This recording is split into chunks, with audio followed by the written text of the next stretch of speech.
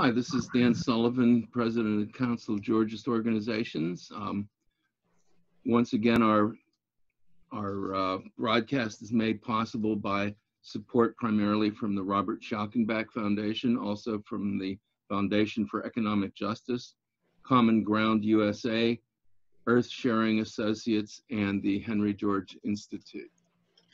And I'm here with Steve Shafarman. I keep Very getting. Sheriffman and shafferman backwards. I don't know why.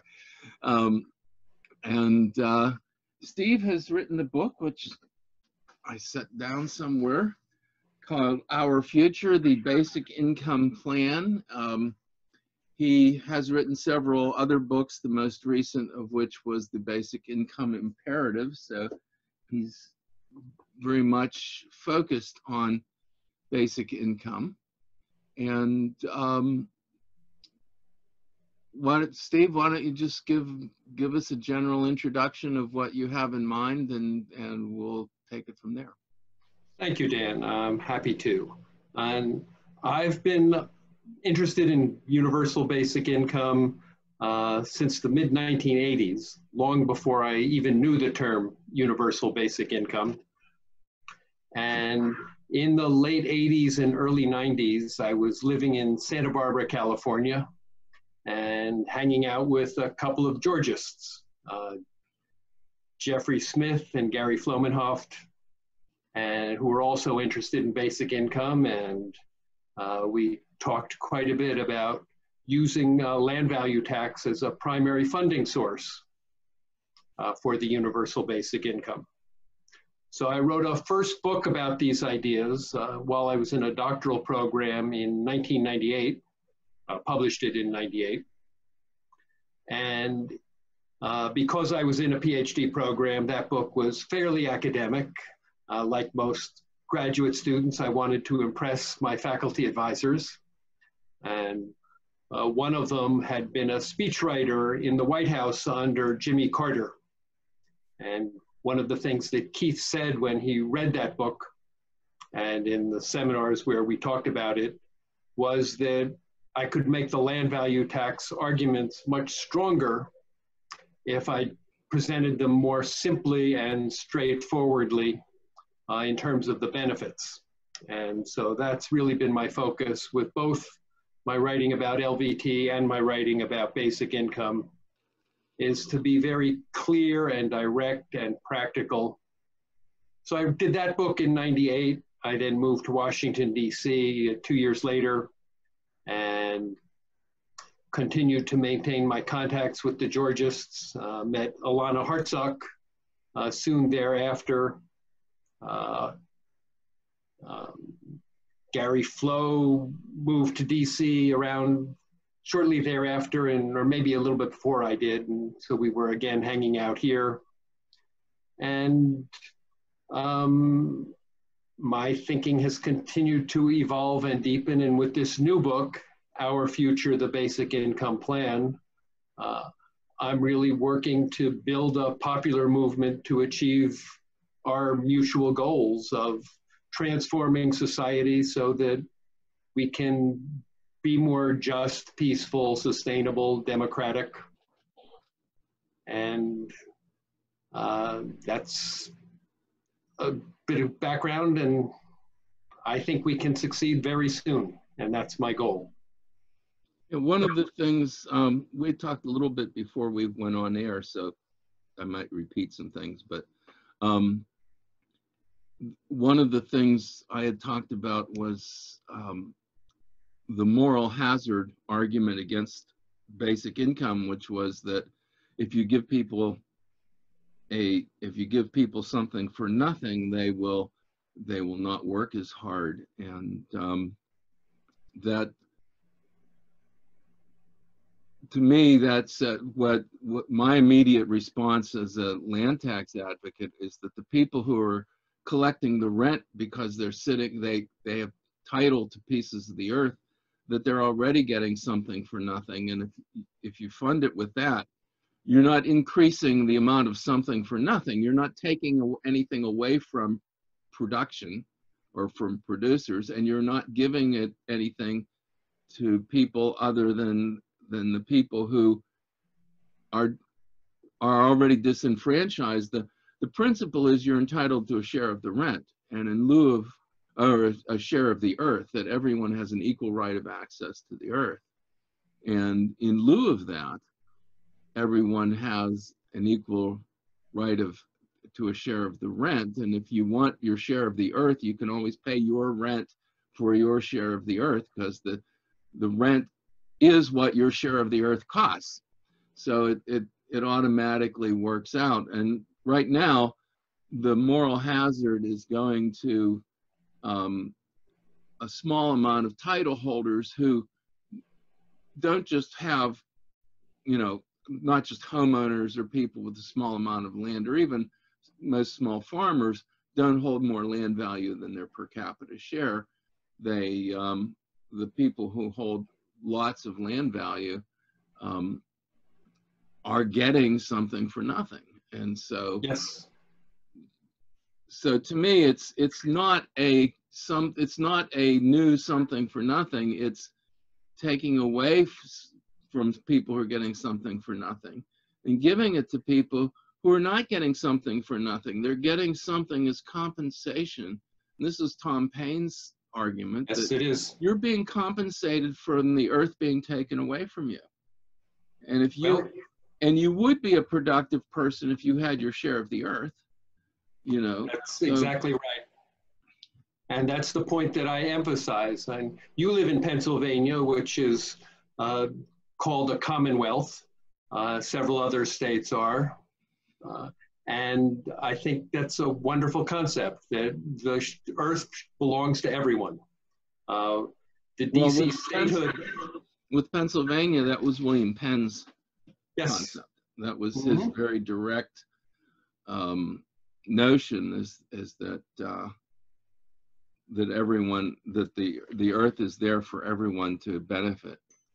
It was Thomas Paine's idea also, of course, in agrarian justice.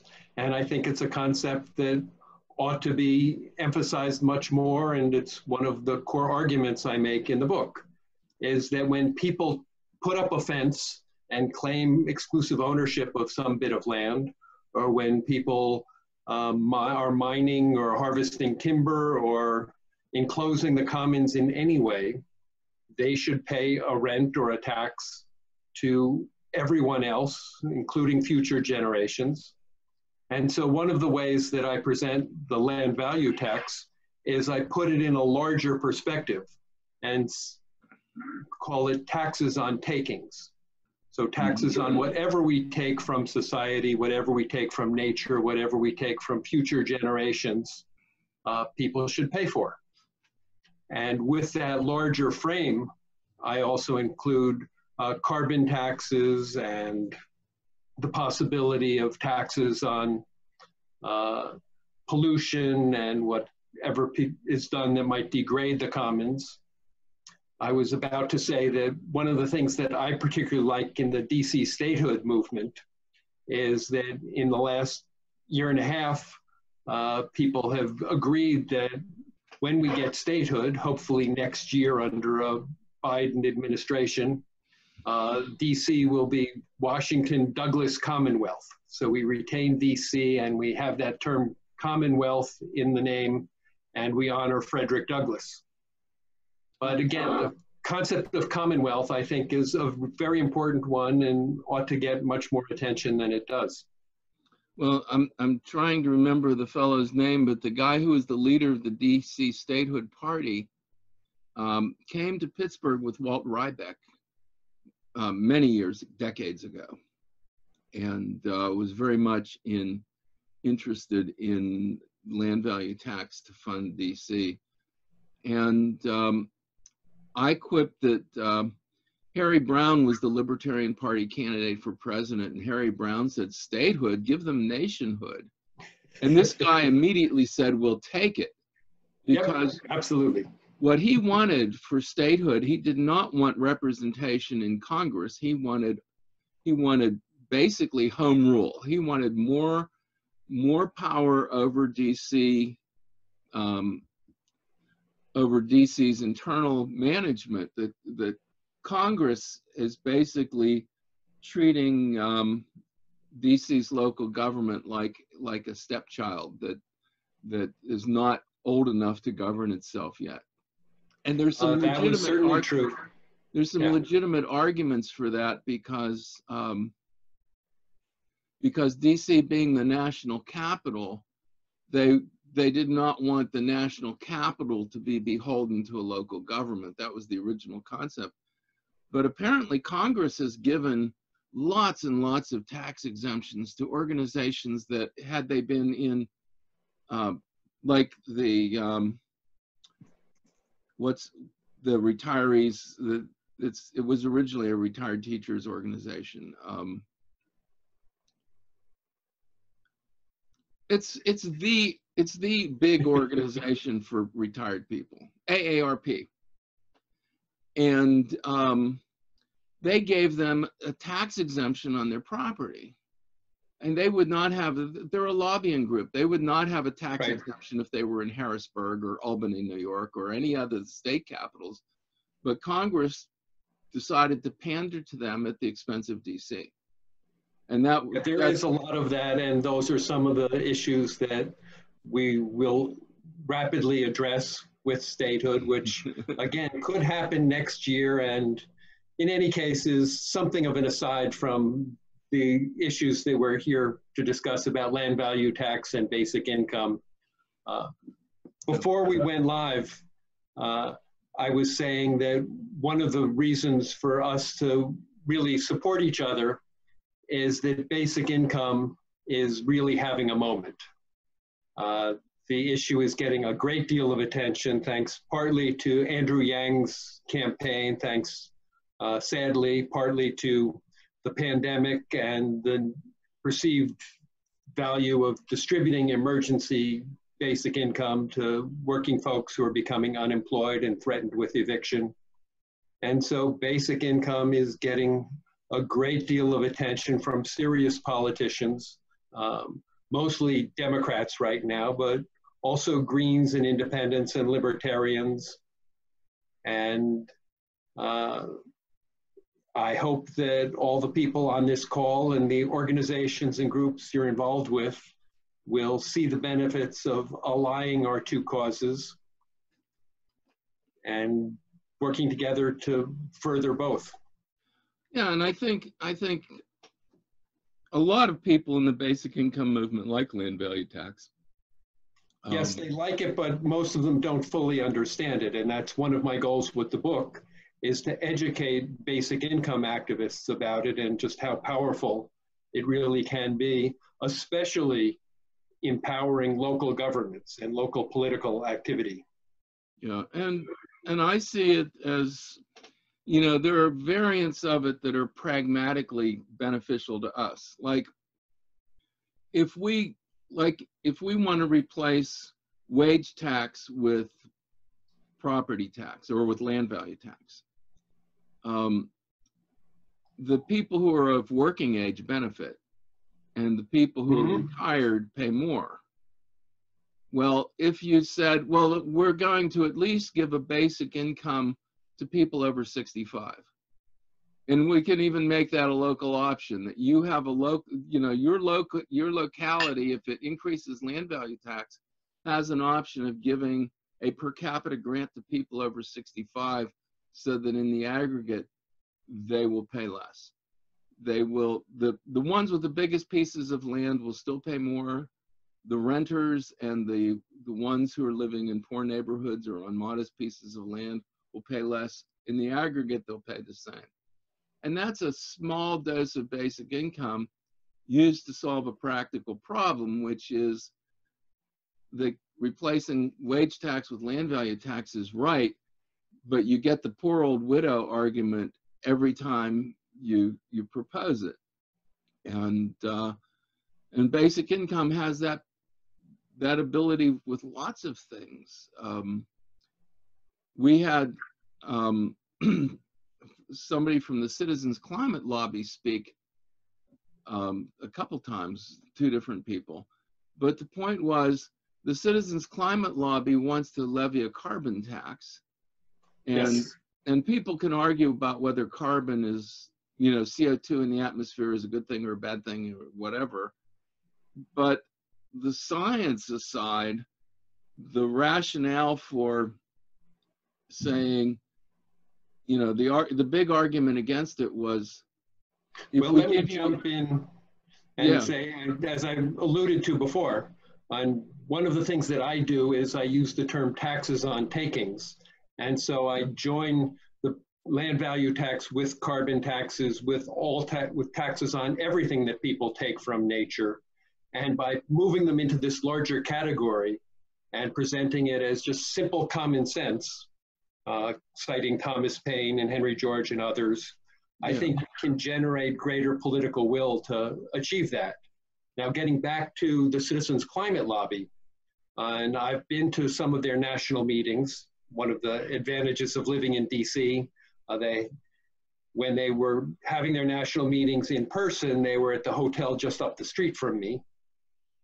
And their bill, which is getting some bipartisan support in Congress, uh, does call for a tax and dividend.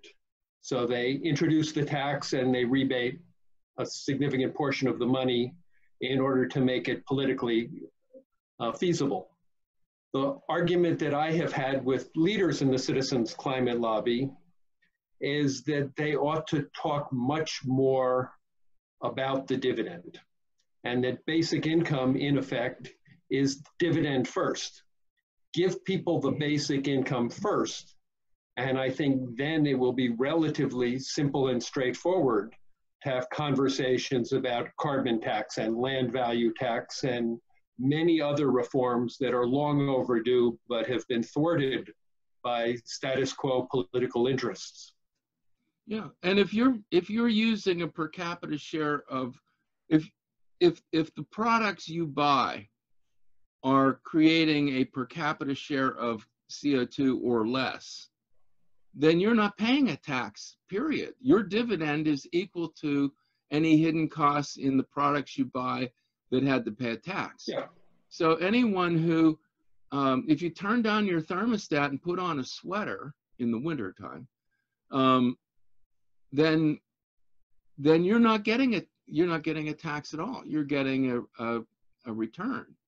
Right, and so it creates immediate direct incentives for people to be more thoughtful and responsible about our consumption uh, with regard to fossil fuels and more generally for land developers and uh, urban planners to think much more about how we use nature and how we can use nature more responsibly and how uh, we can leave more of nature to nature leave more of the land and the forests and the rivers for natural purposes instead of uh, seeking to exploit them. And my background is in philosophy. And so one of the things I learned early on and that I'm very rigorous about in writing this book is avoiding words like resources. And we don't think about it, but the word resources implies that nature is just there for us to use as a source for our well-being, our wealth, our economic development. And so I always refer to nature. Uh, similarly, the word infrastructure, and it's so common in current discourse. Uh, the word infrastructure was only coined and became uh, popular in the 1980s.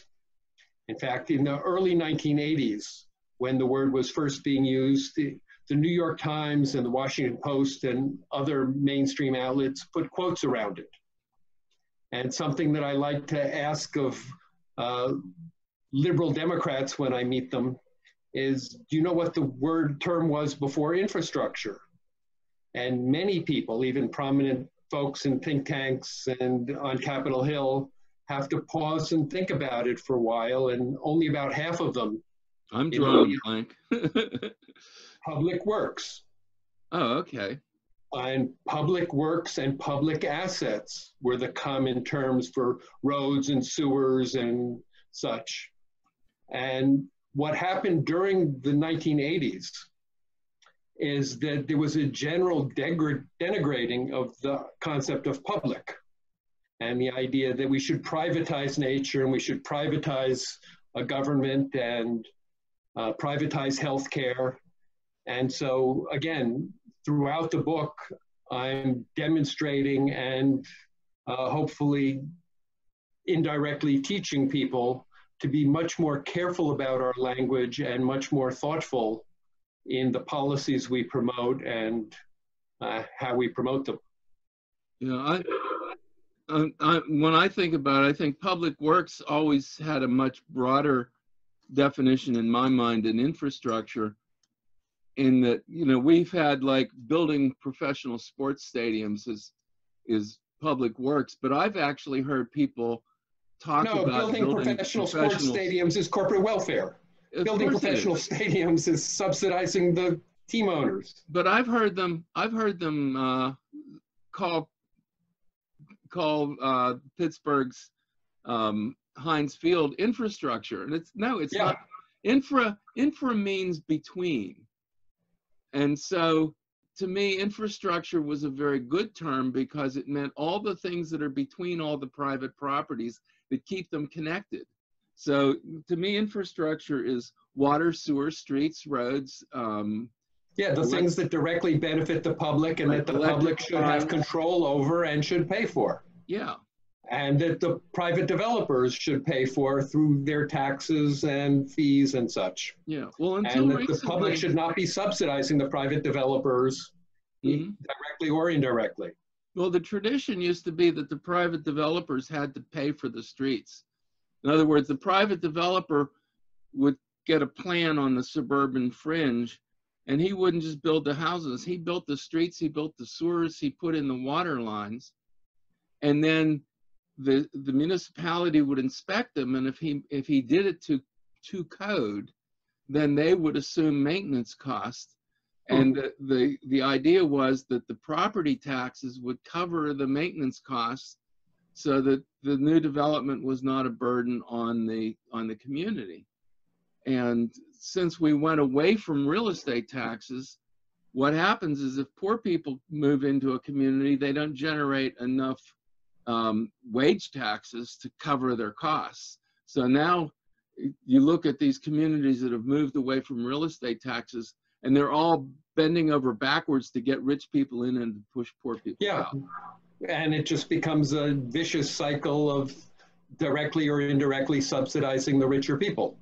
Yeah. And that again is one of my strong arguments for universal basic income is give money directly to everyone and then uh, working people and poor people will have the resources to invest in their communities and to invest in their homes and uh, that real estate developers and such will want to build homes that working people can afford and that the working people who live in those communities will be more likely to be active as citizens and to demand that developers pay their share of the costs and we can have something much more like a true democracy. Okay. I got I, I got some questions coming up. I'll j- jump into um, the um,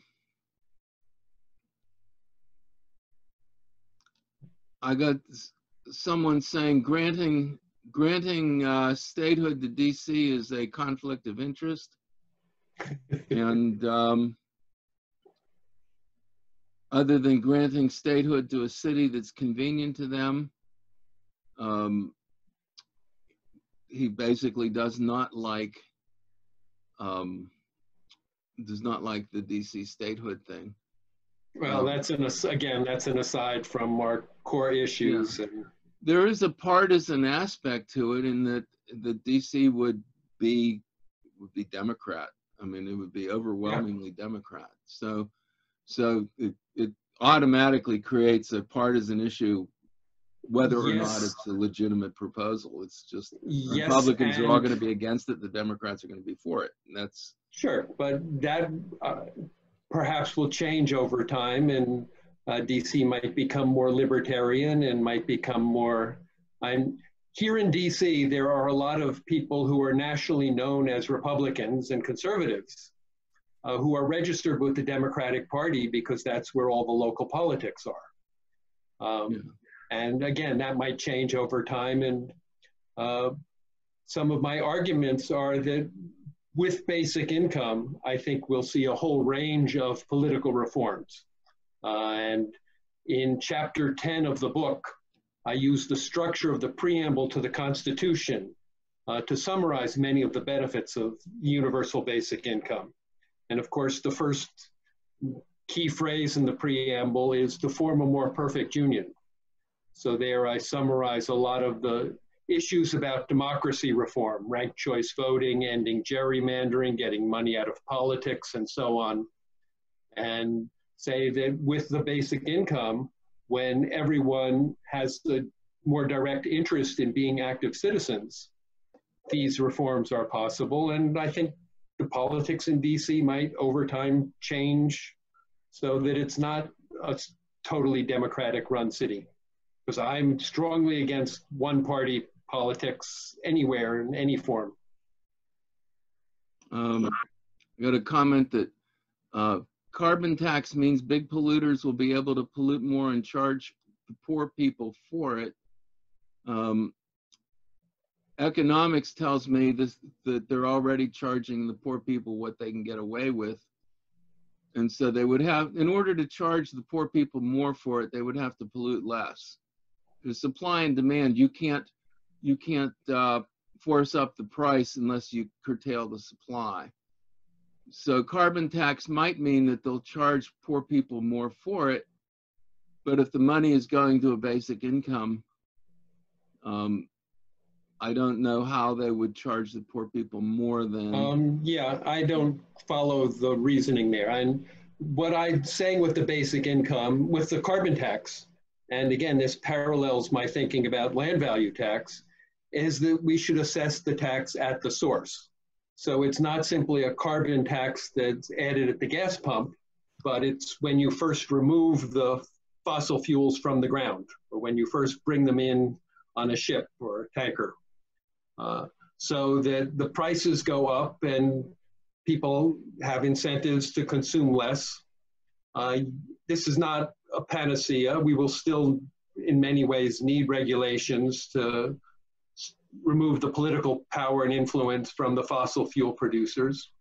Uh, but again, I don't quite follow the logic of that questioner. And I hope he or she will read my book and if you want, contact me and we'll continue this specific aspect of the discussion.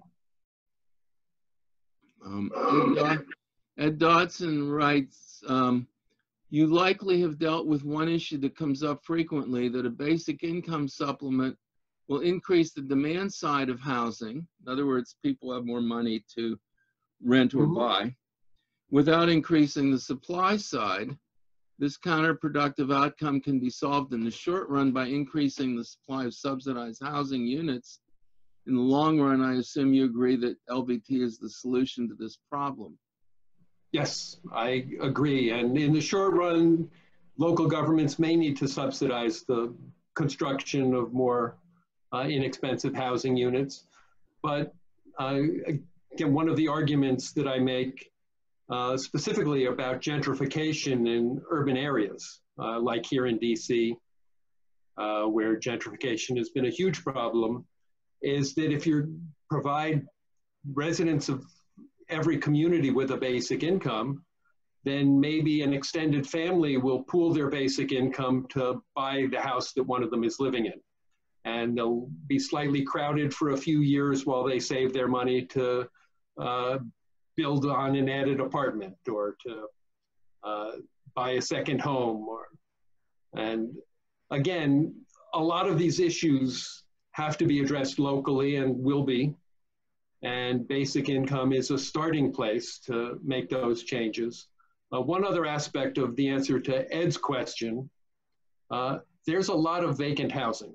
There are a lot of people who own second homes uh, in places like New York City, and I'm sure here in Washington, D.C., and elsewhere, there are a lot of very wealthy people who buy homes for investment purposes and leave them empty. And with a basic income and a land value tax, uh, I think those properties will more rapidly come onto the market because the rich won't want to hold on to them in the same way. So again, there are short-term imbalances which Ed raises, and those will be resolved over time. Uh, another point that I make is that local governments should be able to subsidize the supplement the basic income amount. So if the national basic income is $500 or $1,000, well, in places where land value is high, uh, $500 is may not be enough for the housing that you want. And people might decide, you know, I'd rather move out to rural Pennsylvania or rural Kentucky or uh, wherever, and then lobby the local government in that rural community to install high-speed broadband, and I can just work remotely. Well, the business interests in Washington, D.C., or in Manhattan, or Brooklyn, or elsewhere, um, an incentive to supplement the land value, to supplement the basic income to keep their customers from moving away. Uh, one of the points that I was happy to discover is there was a recent study by the Federal Housing Administration uh, showing land value discrepancies. And that land in Brooklyn and Manhattan is worth 7,500 times as much as land in rural areas. And uh, that ought to be taxed and that some of that money returned to local governments and yeah, so study I, in the end notes. I tell people that uh, a square yard of prime Manhattan land, like near Wall Street, is worth more than an acre of New York State farmland. Yeah. And, and that if you own a parking space in Manhattan, you are necessarily a millionaire. That a parking space worth of land is worth over a million dollars in in the better parts of Manhattan. So um, I I wanted to talk a little bit about how this would be phased in because I see basic income groups um, having fantasies of it suddenly becoming a super sufficient. Everybody's going to get a thousand dollars a month, which means if you have, um, you know, if it's a husband and wife and two kids, they're going to get um, four thousand dollars a month. They're going to they're going to get enough to live on that they don't have to work. And I I don't see that as realistic. I see it as let's let's start with a hundred dollars a month. Yeah. And and you know, when people see that the earth doesn't come to us an end because you've done a hundred dollars a month, that that actually things start to get better. And yeah, maybe maybe exactly what, as you phase, as you add a hundred dollars a month, you can lower welfare payments by $50 a month or something so that right. so that you're gradually transitioning this in. And there is a natural amount where as you do this rents will come down a little bit and and your income is going up. That's not the only benefit. If you're funding this from a land value tax the supply of housing will gradually increase. Ed's Ed's answer of short run versus long run is only if you do it immediately, which is why right. Henry George said even with land value tax, it would be phased in. There is no. Yes, and that's one of my strong arguments with the basic income folks is that any amount, any version or variation is moving us in a healthy direction. So even if it's $100 a month or $200 a month, as long as we're sensible about cutting welfare and other programs.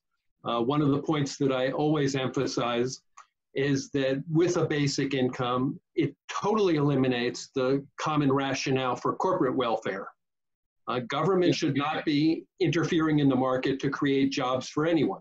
It should be providing us with a basic income so that people have a solid floor uh, to manage for themselves while they create jobs for themselves, whether as entrepreneurs or uh, and people should have the freedom to be full-time parents or political activists. Uh, another point related to this, uh, you came down to DC a year and a half ago for a libertarian conference where you were at a booth talking about Henry George. Yeah. And when I was visiting that conference early on, uh, one of the people who also had a booth was Steve Forbes from Forbes magazine. And Forbes wrote a book a few years ago uh, calling for a negative income tax, which was proposed by Milton Friedman in uh, 1962. And negative income tax was his version of a basic income. Uh, so I saw Forbes standing by himself early on, and I thought through how to phrase my question in a way that uh, might really gain his interest. And so I then approached him and said, Mr. Forbes, I'm familiar with your book on the negative income, on the, excuse yeah. me, the flat tax. Uh, Forbes's book was calling for the flat income tax. And uh, so, Mr. Forbes, I saw your book on the flat tax, and I wonder if you've also thought about the negative income tax, which Friedman endorsed in the same book. And Forbes immediately said, oh no, I'm against that. I then showed him uh, four charts that I have in this book. And I said, but if you combine the flat tax that you're so strongly support and have written about with a negative income tax, the net effect is fair and simple and inclusive and perhaps most important for your purposes, endorsing the negative income tax is probably the only way to generate political support for the flat tax that you want. And so I showed Forbes the book and the four charts, and he looked at it for 30 seconds or a minute in complete silence. He then handed it back to me and said, No one has ever put those ideas together in this way. And promptly turned to talk to somebody else. so I was flattered and I may have blown his mind a little bit. Did you leave him a copy of the book? Um, no. He handed it back to me. He wasn't interested in continuing the conversation. Uh, but this is one of the ways that I think the idea of a basic income can generate support from self-identified libertarians and conservatives and even folks who might have voted for Donald Trump in the last Oop, election. oh, there it goes. Um, I got a, Sue Hansel says, my fear is that we will get UBI without LVT, so it would just be another Minji entitlement paid for by increasing the current unjust taxes. Most people advocating UBI have never heard of LVT. Um, that's, you're absolutely right. And one of my goals with the book is to educate the UBI supporters about LVT so that we don't fall into those traps. And that's one of the reasons that I hope the LVT supporters uh, will join me and other basic income proponents.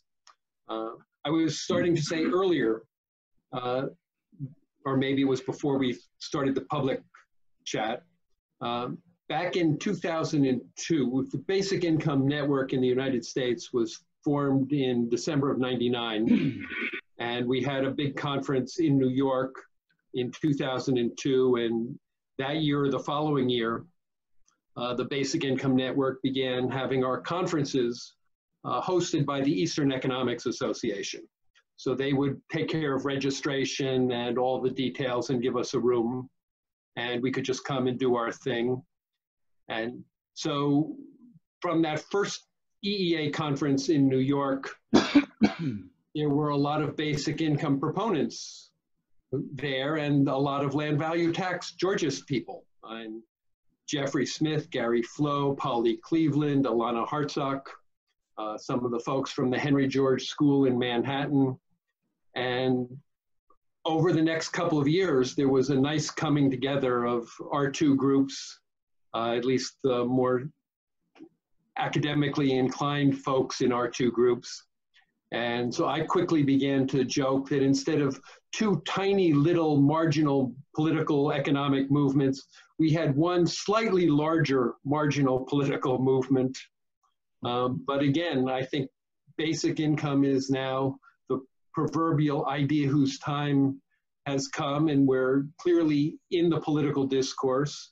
And one of my goals is to move both of our issues forward as rapidly as possible. And to, to extend Sue Hansel's concern, you know, the, the big problem is that the federal government doesn't actually have a, a, um, a mechanism to legally levy land value tax that, that various Supreme Court rulings have said that you can't, it, have ruled that it's a direct tax and that you would have to apportion the revenue, apportion the burden by the state. And I think there are some workarounds in that how you distribute the burden. So if, if you if you did this on the federal level, you know, the tax rate for people in Alabama would be much higher than the tax rate for people in Connecticut. Um, because their land value is so high in Connecticut, they can have a lower tax, get the same per capita revenue. So maybe you would have to uh, boost that revenue or do some other revenue sharing like um, a, a, as far as I understand a royalty on uh, coal extraction or oil extraction is Yeah, not a direct tax Mhm. and therefore you can use you can use that revenue to enhance to offset the the higher tax burden that Alabamans have um, and and or maybe they would just get um, you know all the money collected from Alabama could be given to Alabama. Well, ideally, I think that's what we want to move toward is that uh, there's some national basic income and funded by some combination of national taxes on income, on extraction, on uh, consumption of other sorts. Uh, and that local governments should primarily be funded from local land value taxes. And you were saying before, and there's a tendency to all or nothing kind of notions. And people think, okay, we're going to turn on the basic income and everyone's suddenly going to get a check for $1,000. Uh, that's not the way politics works. Ideas are iterative, and we start with some version and we gradually integrate that and refine it. And uh, those refinements happen at all levels local, state, and federal. And we'll see how things evolve. Okay, your your Cadi, I don't know what that means, um, or who that is. Um, can you give us some examples of amount of amount of taxes, dollar amount, for someone that is currently being charged a land value tax? I don't. It's the the in the United States, the the Pennsylvania cities have land value tax. I don't know that anybody else does, but the the dollar amount is so variable. It all if you live in if you live in the most affluent neighborhood in Pittsburgh, um, even if you have a small lot, your land value tax is 85 times as high as someone who lives in a poor neighborhood in Pitt, poor, one of the poorest neighborhoods in Pittsburgh. Um, so I don't know that there's some amount that is that you can describe as typical.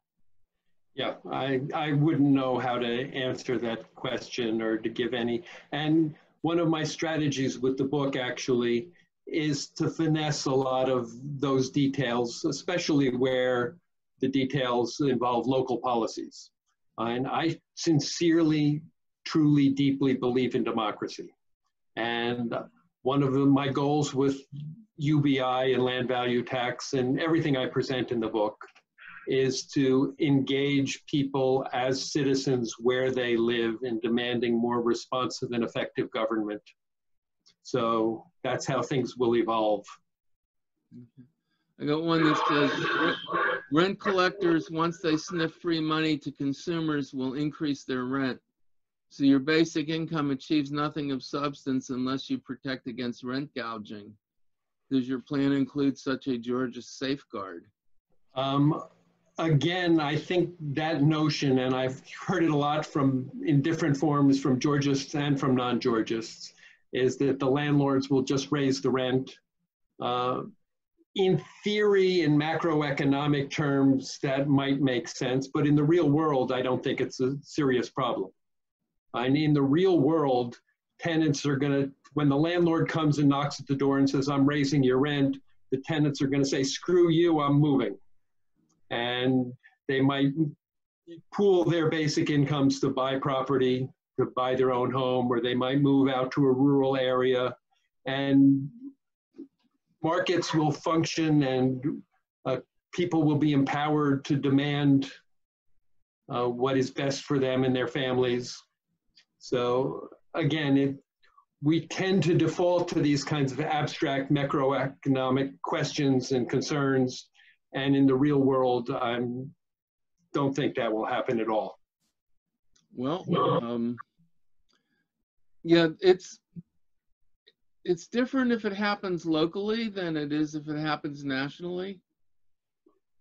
And the the there is a lot of history to show, like the state of Pennsylvania, every time welfare benefits increased, rents went up in poor neighborhoods. Yeah, and, and if um, landlords can get away with that, but yeah. again, basic income is much more than welfare and gives people direct political power that doesn't come with welfare. And yeah, that's it, the argument for basic income is that it's treating all people, poor, workers, middle class, upper class, as equal citizens in this one way at least.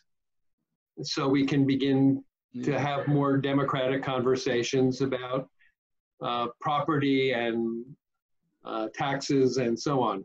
Yeah, there is there is an argument that if it's funded from land value tax, the landlord is in less of a position to um, strong arm the tenant. That the, yes. the landlord, if there is a land value tax, the landlord has to fear the tenant moving out. But exactly. If, but if there's no land value tax, the landlord can say, well, I'm raising the rent, and if you move out, I'll let it sit vacant for a couple months. Somebody will want it and you know and it it's oh. one of those things that the law of rent there is you know, there are there are theoretical things that that ring true but they that you have to take both sides so if if you have a land value tax funded from something else land values might go up should go up where the net recipients live, where the people who are getting a basic income that's much larger than the tax increase they're paying to fund the basic income, land values might go up for them. It might go down. In other words, land values in the rich neighborhoods might go down because the rich neighborhoods are where the rent recipients live.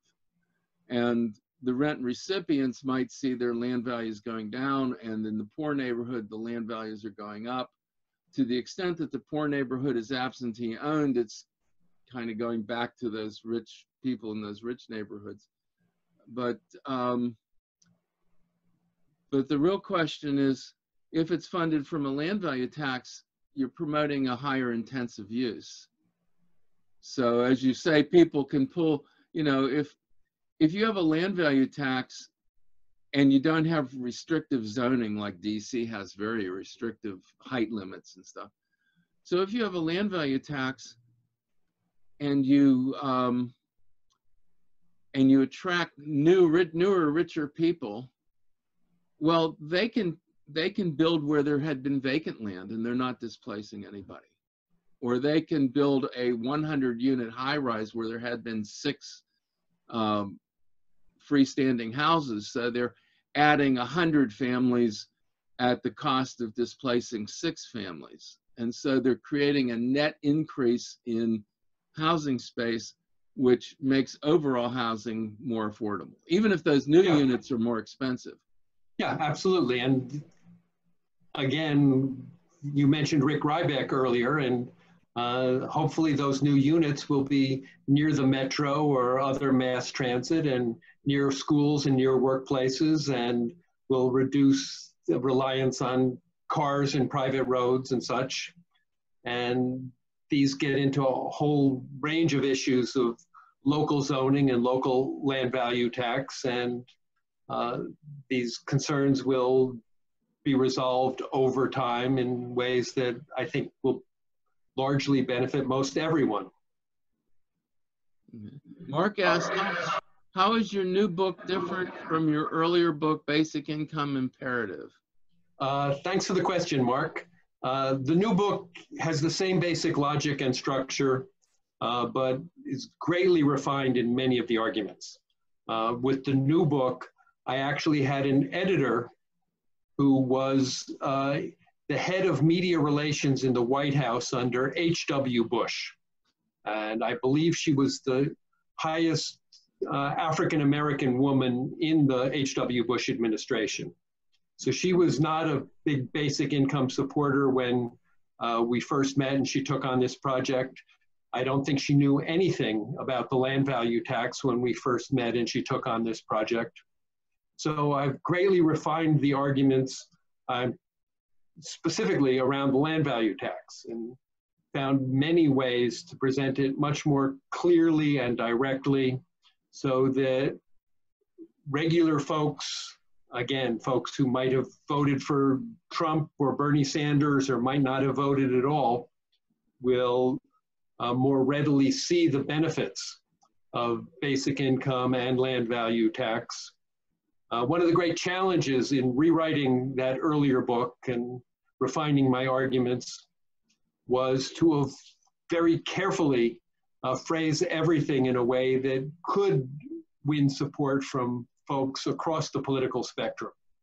So I was quite deliberate in not saying anything hypercritical of Trump or of Bernie, and always looking to frame my ideas in ways that could appeal to both the supporters from both sides.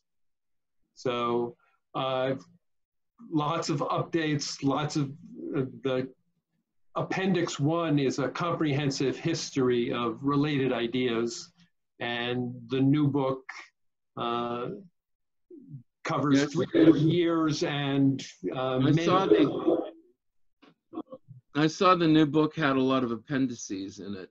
Um, There's four appendices, and what I worked very hard to do is to present the basic text as clearly and concisely as possible so that it's really a handbook for activists. So it's Yeah. the vision, plans, strategies, tactics, and rhetoric that people can use in their campaigns, uh, campaigns for Congress, for mayor, for other offices, and then moved uh, all of the more theoretical or academic material into the appendices and the endnotes.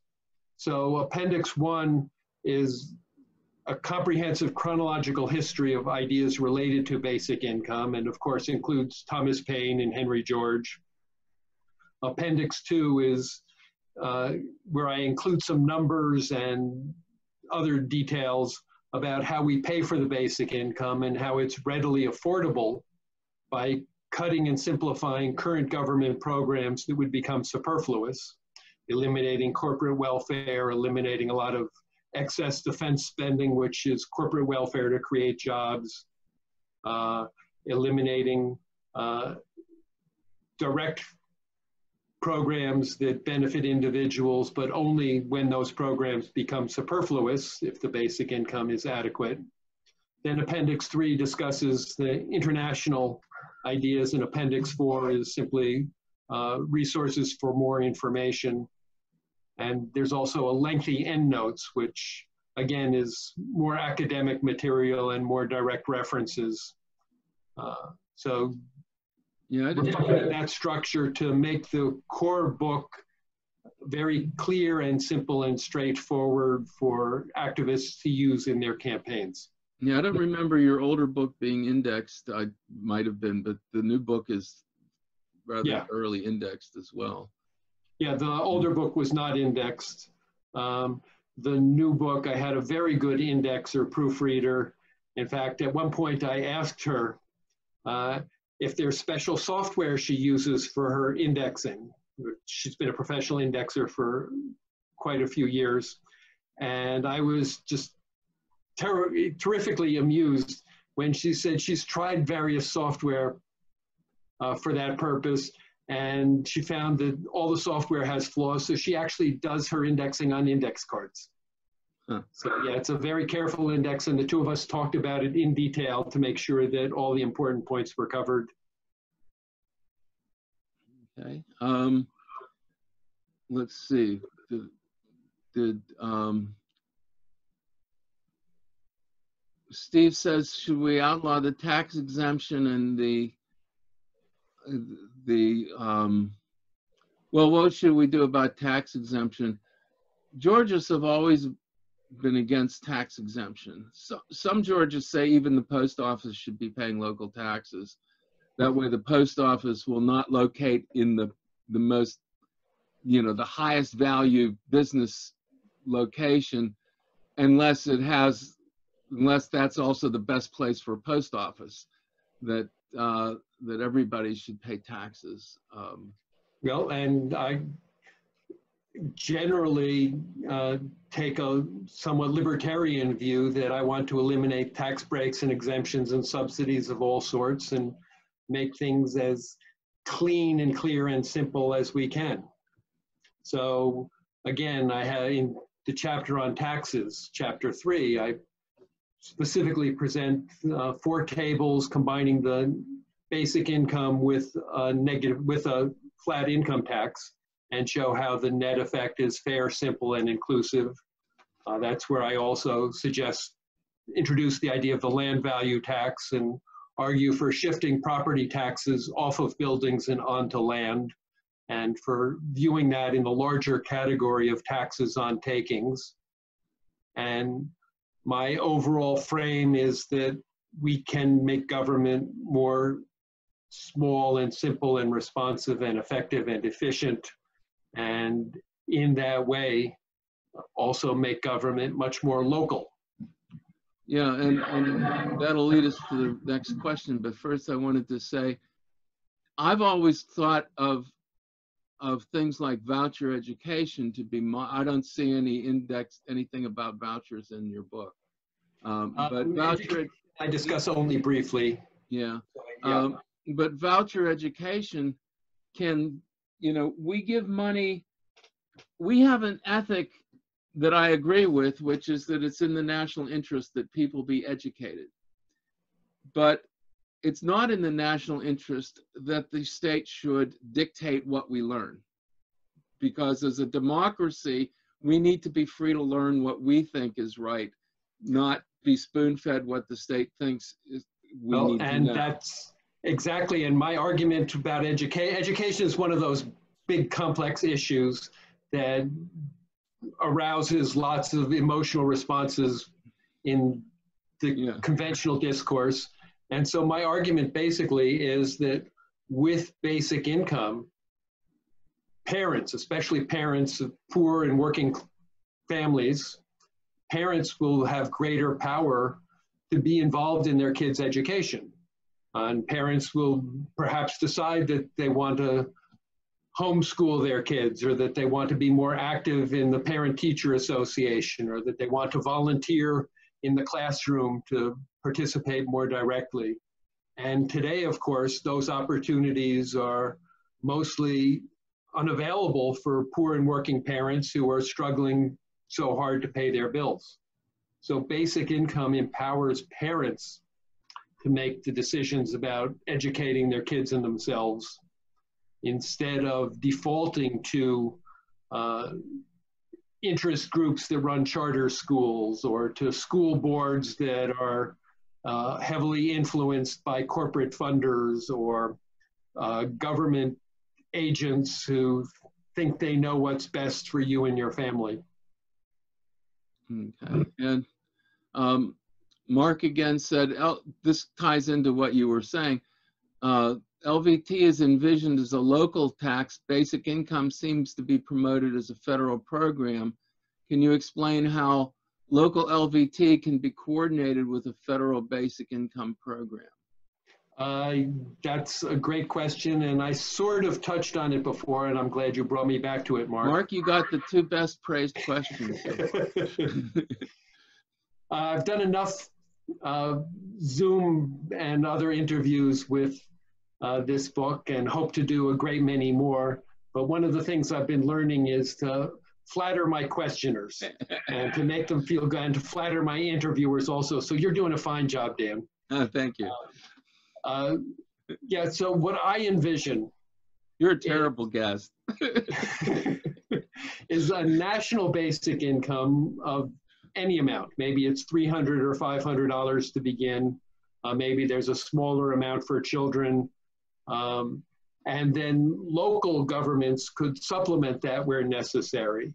Uh, as Mark and other another caller raised, uh, land value tax is generally going to be mostly local, and I discussed that uh, as a way to empower and strengthen local democracy and local governments.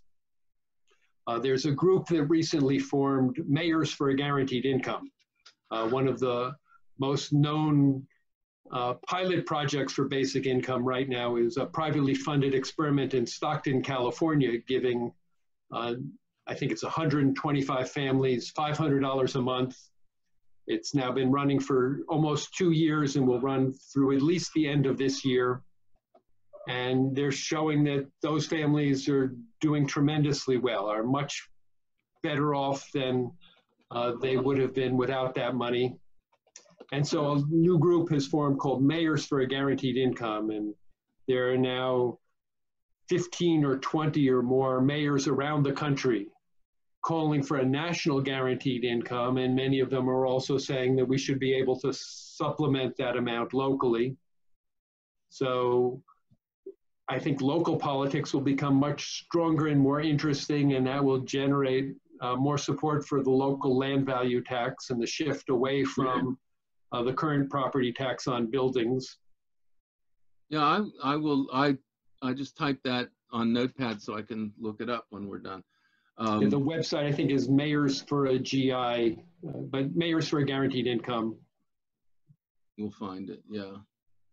Um, James Frederickson asked, um, have you calculated the cost of a universal basic income vis-a-vis the um, cost of a current of all current poverty programs that are funded by various levels of government? Um, in, again, in Appendix 2, I include some of those calculations, and quite happily for me, uh, I'm able to quote from two uh, authorities who are on opposite ends of the political spectrum. So Charles Murray is a renowned libertarian, and he wrote a book calling for a basic income. Uh, he first published it in 2006 and then revised it in 2016. And he has detailed cost analysis of the programs that can be cut and uh, how we can easily afford a basic income just by cutting existing programs. Uh, then I also cite from Andy Stern, former head of the Service Employees International Union, who published a book in 2016 calling for a guaranteed income, a basic income. And he also does detailed cost calculations. And his numbers are particularly nice because he was on the Simpson Bowles Commission appointed by President Obama and so really has some budgetary expertise. And again, both of them show that basic income is readily affordable uh, through cutting the programs that become superfluous. And if we add in ideas about land value tax and other reforms, uh, there's no question that we can make this work. Yeah, I think it's Andrew Stern wrote an excellent uh, article about basic income versus a jobs guarantee. And It's one of the um, points that I really emphasize is that the whole conventional discourse about jobs uh, has some very questionable assumptions. I think completely flawed assumptions. And I always start with the core democratic principles from the Declaration of Independence and the Constitution and say government's duty is to help people affect their safety and happiness. Government's duty is to protect our unalienable rights to life, liberty, and the pursuit of happiness. The idea of jobs uh, became so prominent in the political discourse in the Great Depression, where under the Roosevelt administration, government was redefined to be the employer of last resort. And in the Great Depression, government was creating jobs directly. Government was hiring artists and actors and writers and photographers to make art, paying them to make art. Over the next few decades, and especially starting in the late 70s and the 80s, government, instead of uh, providing jobs directly, became the promoter of the private sector. And that's when we fell into all these patterns of corporate welfare uh, and of jobs guarantees. And, and with basic income, I think we can get back to the core values and say, you know, give people a basic income. People will figure out what's best for themselves and their families people will be able to manage their life, liberty, and the pursuit of happiness. And then we can get government out of the business of creating any sort of jobs because when government is creating jobs, it's interfering in markets, it's uh, distorting private sector activities, and I don't want government to be doing that.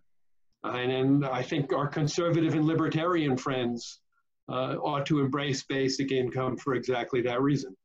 Yeah, I've, I've noticed that a lot of Marxists hate the basic income and want a jobs guarantee.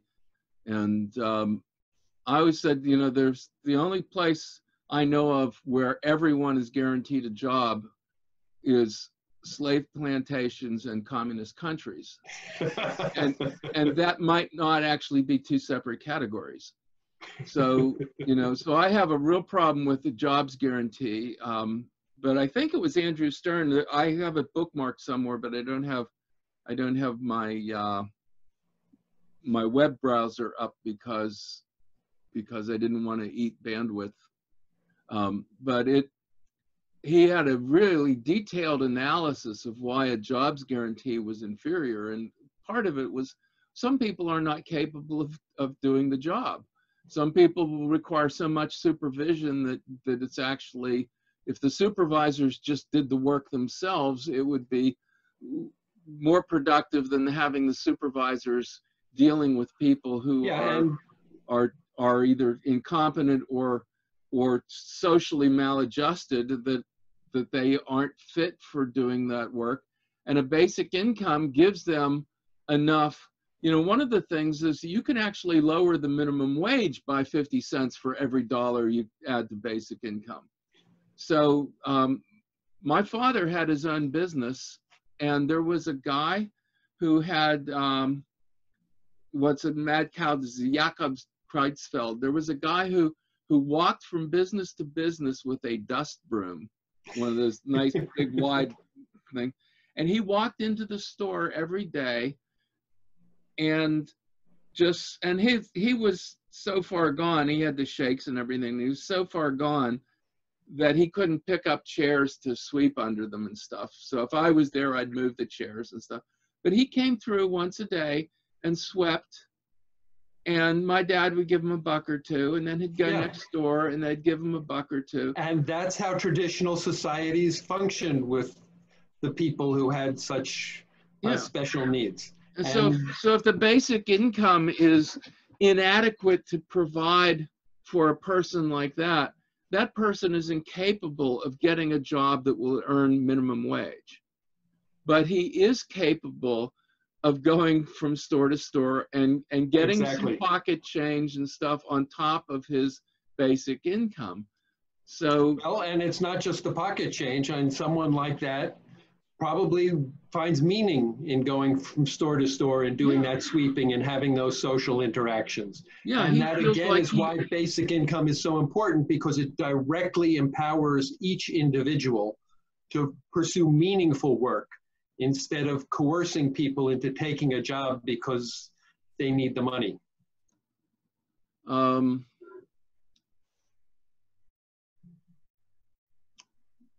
hasn't basic income been implemented with the $1,200 checks to all uh, to nope. all taxpayers? The uh, it's not quite a basic income. It's an emergency basic income. Um, but obviously, it's not recurring, it's not universal, it's not unconditional. Um, interestingly, uh, the first time government distributed a check to all taxpayers was in 2001 as part of the first Bush administration tax cut. Yes. And that idea, I have this in appendix one of the book. Uh, that idea was proposed by the Progressive Caucus in the House, uh, liberal Democrats said we should just distribute money directly. Was that seven hundred and fifty dollars or something? No, that first one was $300 for every person, $600 for a couple, uh, but it was watered down. So the House version from the Progressive Democrats was universal and unconditional, uh, but one time only. However, they wanted to repeat it every year if surpluses continued. And that was back in 2001. There was a mild recession uh, from a bursting of the tech bubble, and there was a government surplus at the time.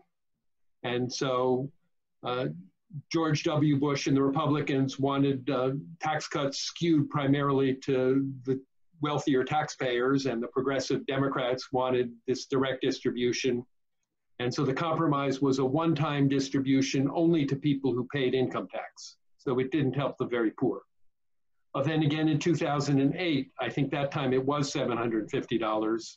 And again, that was under the George W. Bush administration Mhm. uh, as that housing bubble burst and that recession was just deepening.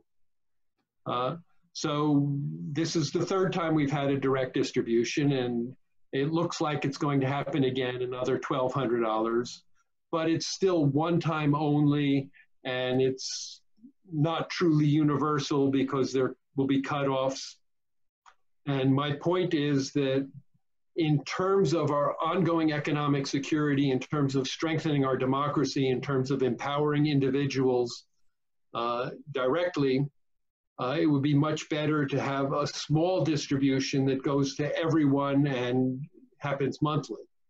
So even if it's 400 or 500 dollars a month, you will know that you can plan on that. You will know that you will be getting it not just this month, but next month and the month after and next year. So people can begin to make long-term decisions for themselves and their families.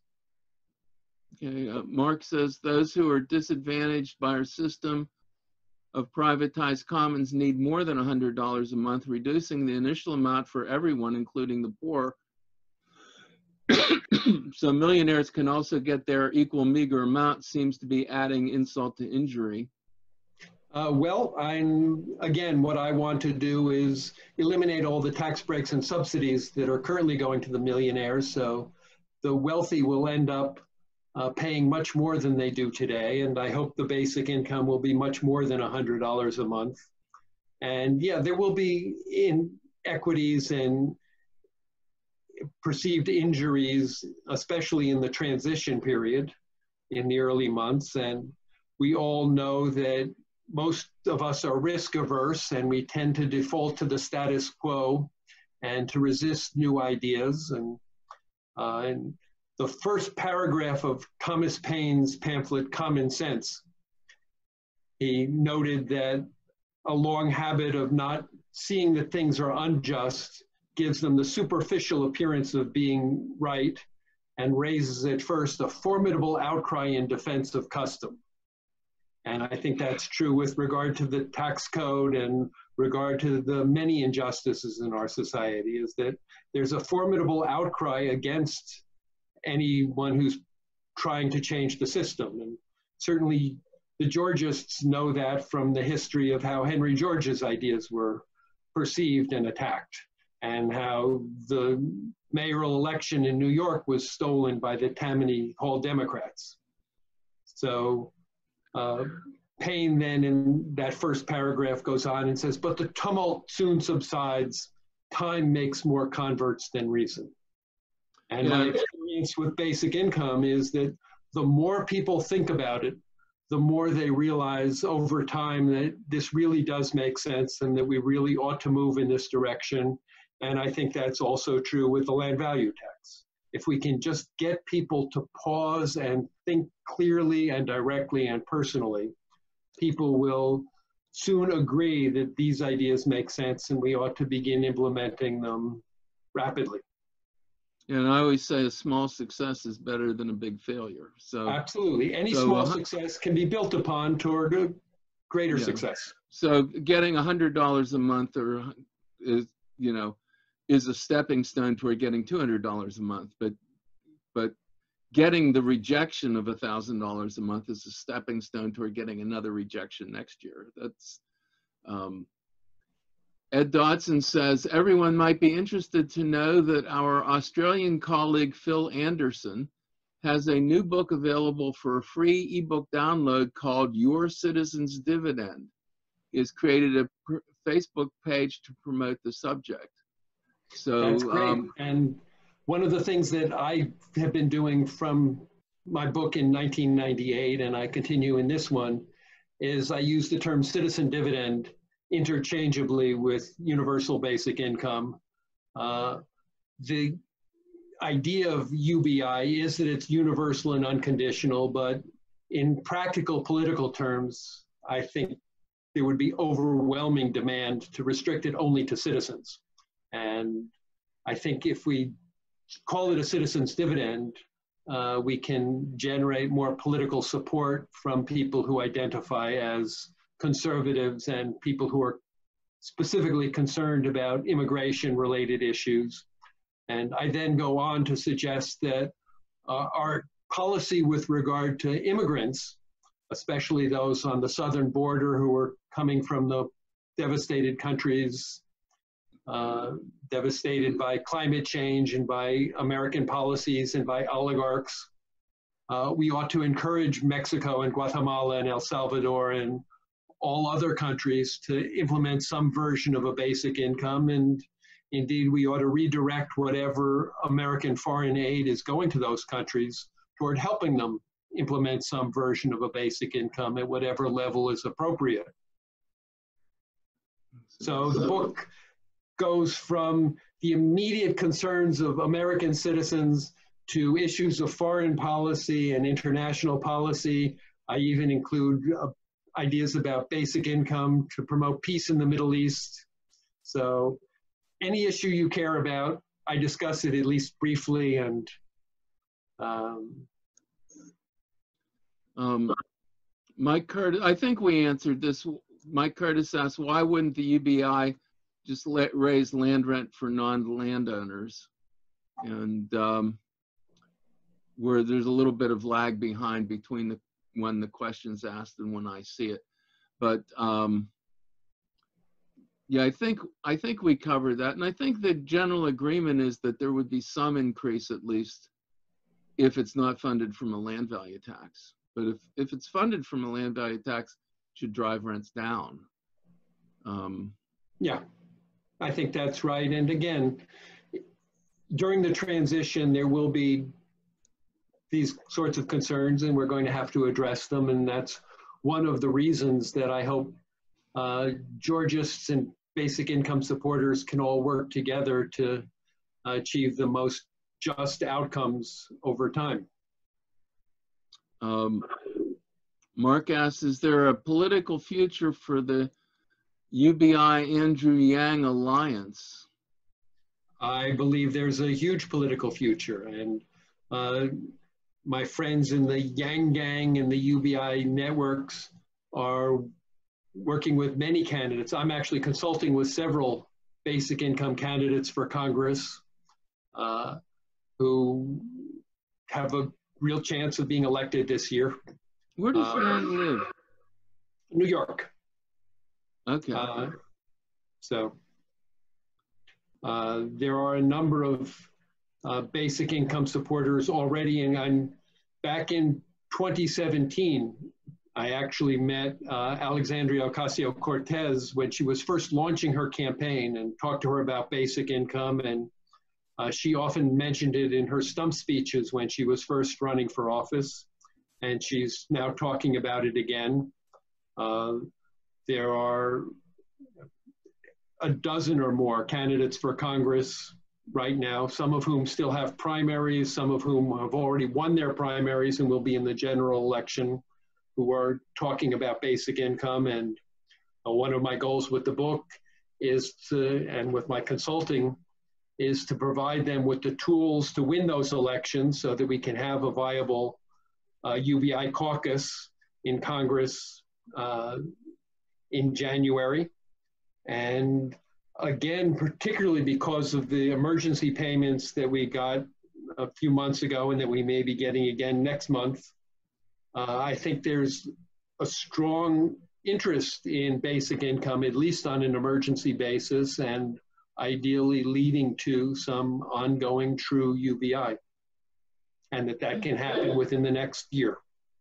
I, um, I, I was thinking, what the reason I asked where he lived is that maybe Andrew Yang's next step could be to run for a city or state office. That, Uh, um, there was some talk about him possibly running for mayor, though there's now a lot of talk about him running for president again in 2024. And every time I hear that, my immediate response is I don't want to wait till 2024. I want to have a basic income within the next year or two or three because the problems in our society are so wide ranging and so devastating and so rapidly becoming worse uh, that I think we need to implement this kind of reform as soon as possible. well, I was thinking he could run for state legislature and start introducing things at the state level where land value I don't think he's interested in that. He wants to be an executive. Uh, okay. And he comes from an entrepreneurial background and he wants an executive position. So Okay. Um, how can we assist? I applaud you for trying to launch a Georgist infiltration of the basic income movement. How can we assist your project further and also discuss it with you further? um, thank you, whoever asked that question. Uh, you can assist it further, obviously, by buying my book and encouraging other people to buy my book. Uh, it is on Amazon. Uh, I'm putting up a website, which is ourfutureubi.com. So it's ourfutureubi.com. And the book is there and the ebook is there. And uh, you can contact me through the website. Uh, and uh, I'm eager to work with all of you. Uh, again, it's educating the basic income community about the importance of land value tax and uh, at the same time educating the Georgist community about how to be more effective politically by presenting our ideas directly and clearly. And I was at your conference in Pittsburgh last year, last summer, and had a number of really great conversations with Josh Vincent and Rick Rybeck and other folks who are engaged in immediate political projects. I can't recall his name at the moment, but the fellow from Puerto Rico. Um, so we are in a time when new ideas are becoming acceptable simply because the problems in our society are just so vast and the situation is so unsustainable. I had a friend back in Santa Barbara, Jeff and Gary both knew, uh, Bob Fitzgerald. I mentioned him in the acknowledgments of the book. And Bob was kind of a professional mentor, uh, real systems thinker and rigorous policy person, good friend. He had been close friends with Buckminster Fuller and with Bucky's daughter, Allegra. And when Bob helped me a lot with first formulating these ideas and including the Georgist aspects. And Bob would sometimes say that, you know, things often have to get worse before people will make a change. And boy, oh boy, and he would rub his hands like this and say, boy, oh boy, things really are getting worse. And that was true 20 years ago, and it's even more true today. And I think we're on the cusp of uh, radical change. And one of the books I mentioned in Appendix 1 is Buckminster Fuller's book, Utopia or Oblivion. And Bucky talked about ideas similar to basic income.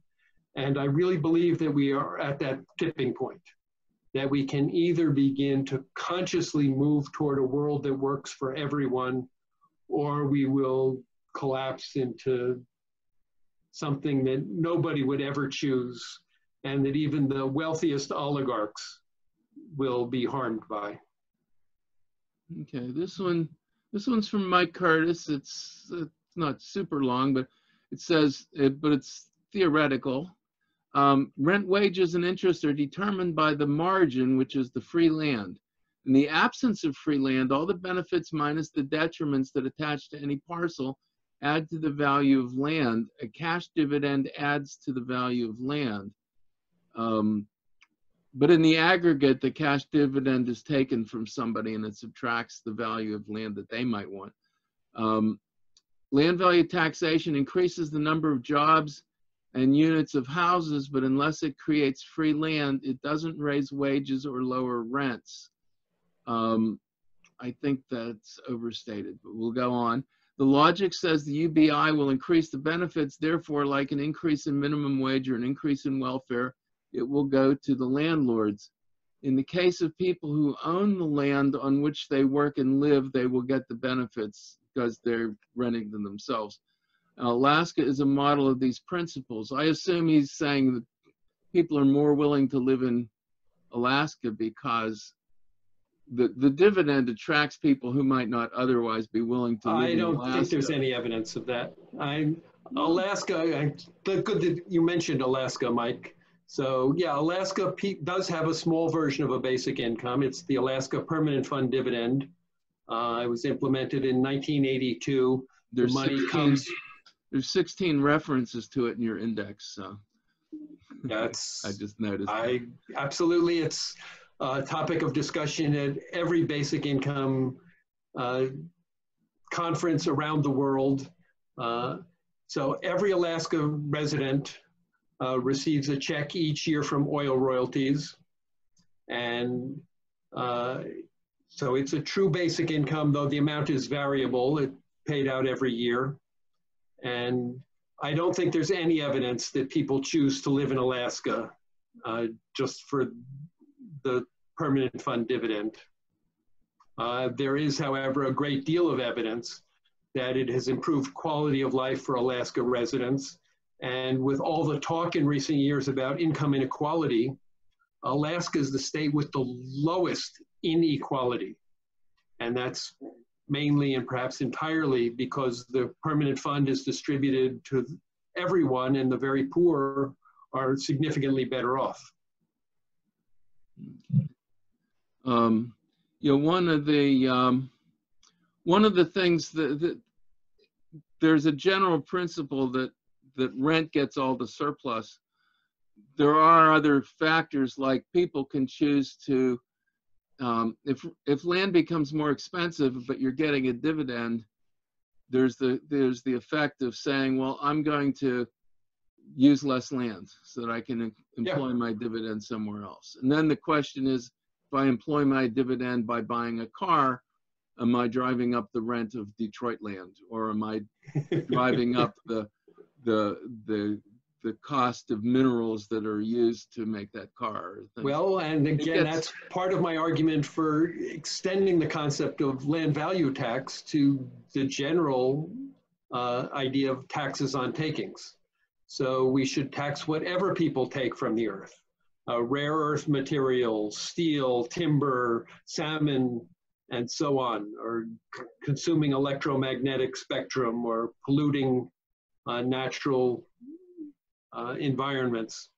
And so it becomes more expensive to consume and there will be a general or, and I hope relatively rapid shift toward emphasizing quality of life and reducing the quantity of consumption, the quantity of stuff that we take from nature.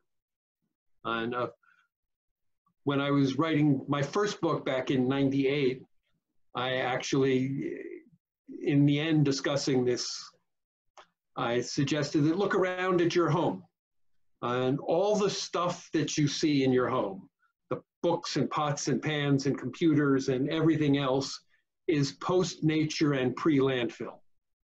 And if we really want to improve our quality of life for ourselves and future generations, we have to reduce that three, throughput. Now, of course, everyone should buy my book and they can download it as the ebook and therefore not consume anything more than a few electrons.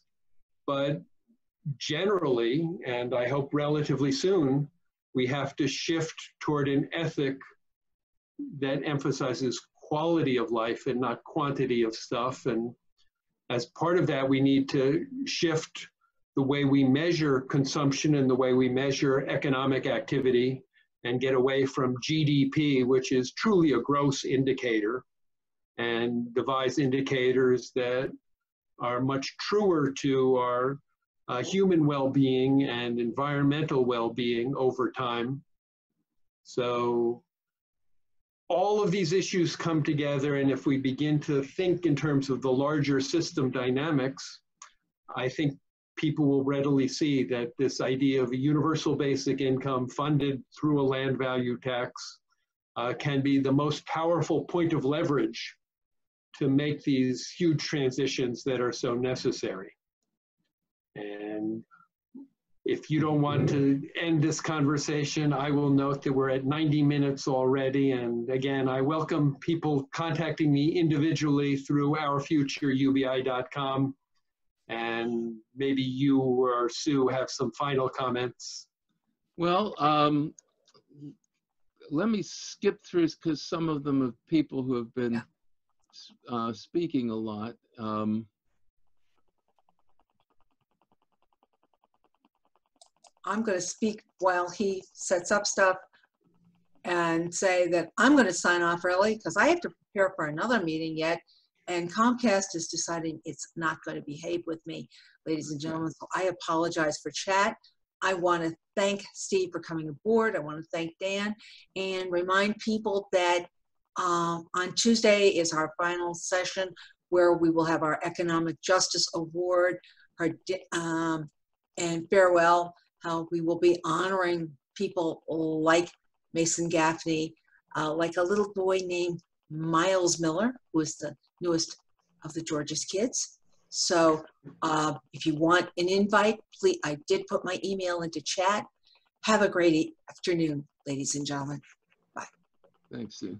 Bye, Sue. Thank you.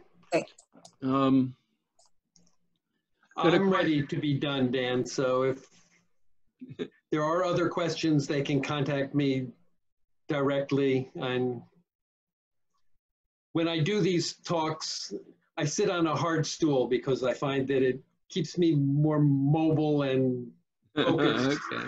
And so I'm ready to get up from my hard stool and walk around. Okay. Um, the, there was one more a comment. Do you have a comment about modern monetary theory in connection sure, with I'll briefly do that. And I don't like the term modern monetary theory. I think it is a distraction from what is really being talked about. But Stephanie Kelton and the other MMT theorists, Michael Hudson, and uh, I think they're absolutely right. And government can create money as necessary and one of the common objections to a basic income is people immediately say, oh no, we can't do that, it will cause inflation. Well, the MMT argument is no, government can create money and government does create money and we, if we use it effectively, uh, that doesn't necessarily cause inflation and can promote uh, long-term benefits. And one of the points, again, getting back to my analysis of the flaws in conventional political discourse is that too often uh, in politics, people don't make a clear distinction between investing and spending. and what Stephanie Kelton and other MMT proponents do very usefully is they say, you know, when you're investing in things that really promote well-being for individuals and for society, that's an appropriate and important use of society, and we can readily afford that. And we measure investments in terms of their long-term return. Mm. Uh, giving tax cuts for the rich and just encouraging mindless consumption and tax cuts for uh, airlines and for the hotel industry and for uh, extractive resource use uh, that's spending and we should not be encouraging that. So let's cut all that stuff. So I briefly mentioned MMT in one of my endnotes, mentions, cite, quote Stephanie Kelton in that endnote. And I think her arguments and mine are entirely compatible. Though she does not fully endorse the basic income, she still thinks government should be involved in a jobs guarantee of some sort. And hopefully we'll win her over relatively soon. Yeah, um, I work with a group called the Alliance for Just Money, and um, they have, they have, uh, I have a, a page on on my uh, thing called uh, Henry George's Monetary Views. It's on uh, savingcommunities.org/docs, um, D-O-C-S for documents, and um, Henry George was asked because Henry George was a greenbacker. He believed that government should create all the money and that banks should not create money. They should. Yeah, and that's modern monetary theory. Yeah. Well, except that government- except that uh, the modern monetary theory people de-emphasized the need to curtail bank creation of money. Yeah. And, And Yeah. one of the other points that I mentioned briefly is the idea of public banks. And I'm sure there are many people in the Georgist communities who endorse the concept of uh, publicly owned banks, state or local, uh, like the current Bank of North Dakota. And a public bank, local or state, uh, would be an excellent vehicle for facilitating a local or state basic income. Yeah, my my problem was that that so- Ellen Brown wrote a thing that suggested that we could en- entire fund a basic income of a thousand dollars a month per person entirely from new money, which which I as I went through that I I thought that that was extreme and absurd because it would require a three trillion dollar increase in the money supply every year, which is way beyond Yeah, But- but you fund it with new money and then you adjust the tax code to pull that money back money out of the back out. system in the places where, it- Yeah, but then you're So- ultimately funding it with whatever that tax is. yeah, And, uh, and my, my thing is, um, the Henry George said, I'm a greenbacker, I'm not a fool. And so, because somebody asked him, do you think government can just create, just create massive amounts of money? And he said, no, I, I, but, but whatever it's created. So I look at, at MMT proposals as something that would be good to supplement you know, that whatever new money, whatever new money should come into the system should come in as a basic income, yes. or at least come in absolutely. as cuts on taxes and productivity. uh, Or, Yeah, and again, the core point that I emphasize throughout the book whoops. and the careful way that I book and present my arguments is to always emphasize the importance of empowering individuals as citizens, empowering individuals to make the decisions for ourselves and our families and our communities, and not getting caught up in abstract arguments about inflation or MMT or the money supply or the economy or the market or any of these conventional terms. And, and that's why I think basic income is so important. And that's why I'm confident that as we move toward a basic income, hopefully in the next year or two, uh, we will also generate widespread support for land value tax and general taxes on takings. So, Okay. Well, then, uh, that's a good, good place to end anyhow, is because the principles are, it's always good to start with the fundamental principles and end with the fundamental principles. yes, I agree. And uh, once again, the book is Our Future, um, and it is on Amazon. Steve Shafarman is the It's also, if you go to the publisher, uh, for any of you who are involved with organizations, uh, you can contact the publisher directly and buy quantity books in bulk uh, to distribute for your organizations to help them mount their campaigns. And uh, you can contact me through Our Future UBI. Uh, and at the website, you can also order the books, ebook and hardcover. Okay. Well, thank you very much, and This uh, has been really fun, Dan. Thank you. thank you. And uh, once again, this is uh, made possible by support from the Robert Schalkenbach Foundation, the Foundation for Economic Justice, Common Ground USA, Earth Sharing Associates, and the Henry George Institute and individual donors. Thank you, everybody, and uh, I'll see you next time.